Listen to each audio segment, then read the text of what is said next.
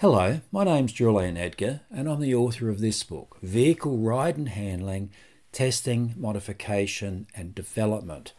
What I want to do in today's video is talk about the very important connection between handling and aerodynamics. Let's take a look. So, firstly, lots of people seem to assume that for a road car, handling and aerodynamics have got nothing much to do with each other, but that is completely wrong. Aerodynamics has a dramatic effect on car handling, especially as you go faster. So there are two main effects. The first is on cornering grip. The grip your tyres develop on the road when you are going around a corner depend on car aerodynamics. Secondly, the ability of the car to go in a straight line is heavily dependent on car aerodynamics. Those are two pretty dramatic aspects of car handling cornering grip and straight line stability, and both are influenced by car aero. So let's take the first one cornering grip. Now, what a lot of people don't know or don't realise is most road cars, 99.999% of road cars have got aerodynamic lift. Now, that means as you go faster, the airflow passing over the top of the car and under the car causes the car to actually weigh less, to try and lift the car up off the road. Now, obviously, it doesn't succeed in lifting the car up off the road, or you'd be flying an aircraft, not driving a car. But the effective weight of the car gets less as you go faster. And furthermore, the effective weight of the car probably changes differently on the front axle compared with the rear axle. In other words, the effective weight distribution front to rear also changes. So not only does the car weigh less, but one end weighs less to a greater extent than the other end. Now, as soon as you reduce the effective weight of the car, the pushing down on the tyres, uh, pushing the tyres down onto the road, that decreases as well. And since tyre grip depends on how hard the tyre is being pushed down onto the road, obviously the tyres will reduce grip as you go faster. Now, it's easy for people to say, ah, oh, it'd be very, very, very tiny change, but it's not. It's actually sufficient that you can easily feel it. And what a lot of people don't recognize is, oh, gee, the car doesn't seem to grip as well when I'm going fast, but that must just because the cornering loads are greater. No, it's because the cornering loads are probably not a lot greater than going around a tight corner slowly, but there's aerodynamic lift occurring as well. Now, the other aspect to keep in mind, and this is quite complex, it's actually covered in uh, one of my books in some detail, but aerodynamic lift and the opposite, downforce, have a disproportionate impact on grip.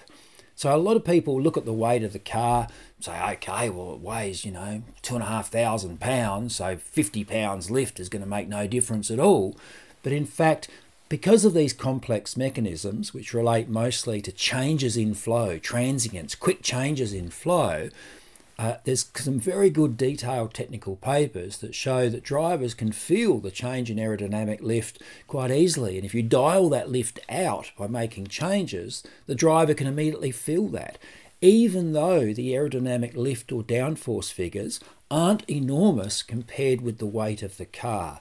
So, aerodynamic lift and downforce have a disproportionate impact on grip and stability of the car and making changes in these areas uh, can be felt, can clearly be felt on the road. Now, I'm not just talking from theory. Here's my little Honda Insight, no longer on the road. It had a pretty good run over about 15 years. I've made some major aerodynamic changes to that car, primarily underneath the car.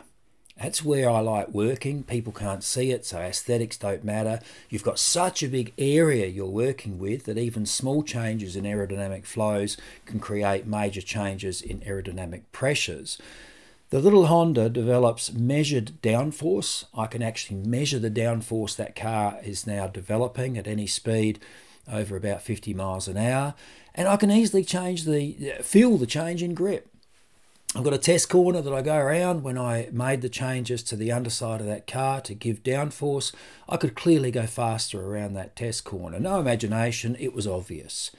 All right, so changing a car, especially changing a car from one developing lift to one developing downforce, is easily able to be felt on the road. And that's my personal experience. That's just not a theoretical construct.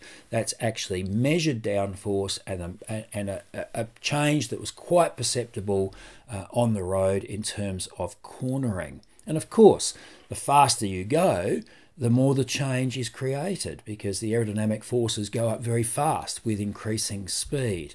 So if you have a car that currently develops aerodynamic lift, and it almost certainly does, Getting rid of that lift, or even better still, getting downforce, will make a dramatic effect to higher speed handling in terms of grip. That is a fact. The other aspect I mentioned is straight line stability.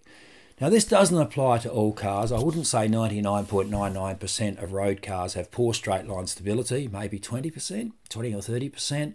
And that is if you're driving in a straight line, and especially if you've got a gusty crosswind blowing across the road, you've got to keep correcting. You've got to keep correcting the car. And the faster you go, the more you've got to keep correcting. It's very wearing because the car feels unstable, it doesn't feel settled. You go faster, and it's more and more work for the driver. And conversely, a car which has got really good stability and even better still has got downforce, the faster you go, the better the car feels.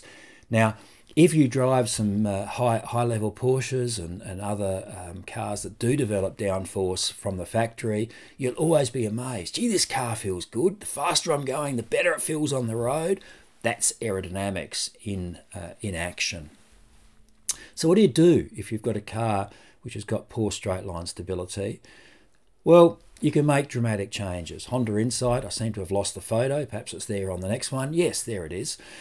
So if you look at the back of this car, let's see if I can bring the mouse over, you can see I've got some fins there as well as a ducktail rear spoiler. And the combination of those two, and especially the fins, dramatically improves straight line stability.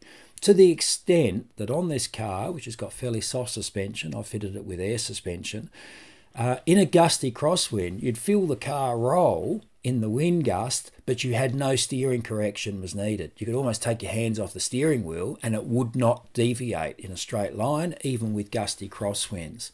Now, you might be looking at this car and say, oh, well, it's a pretty slow car.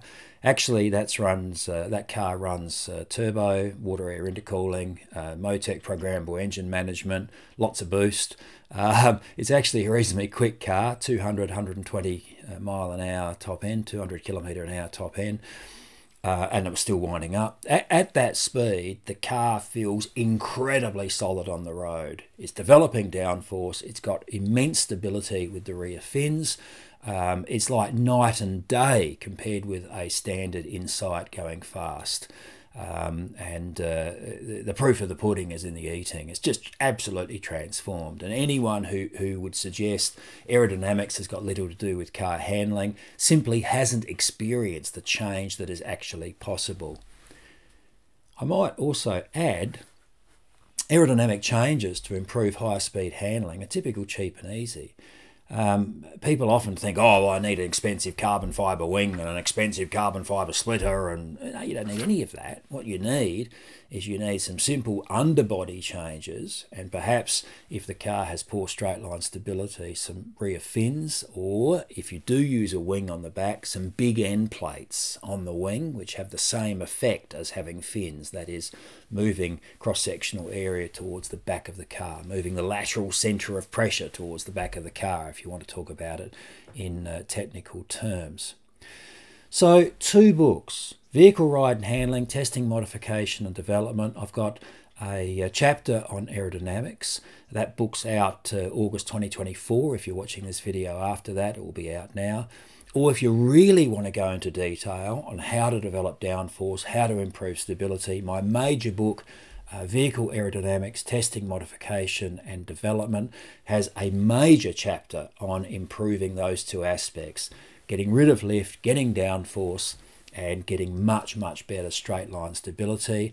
And just to reiterate, if you think aero has got not much to, to do with handling, unless you're doing, you know, 300 miles an hour, that is completely wrong.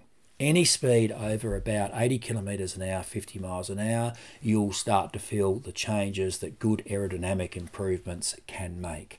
Thank you.